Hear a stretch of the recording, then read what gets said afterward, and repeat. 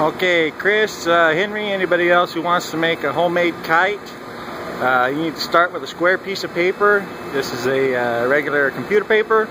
We used to do this with a full sheet of newspaper, so uh, you can make a big one if you want.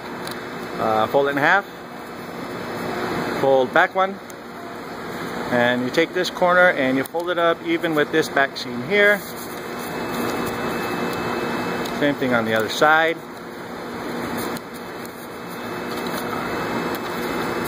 Right here at this top and at this point right here.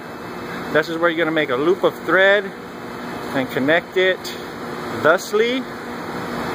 And from the center of that string is where you're going to want to put your kite line. Might want to add a tail for stability but uh, there you go Chris. There's your homemade kite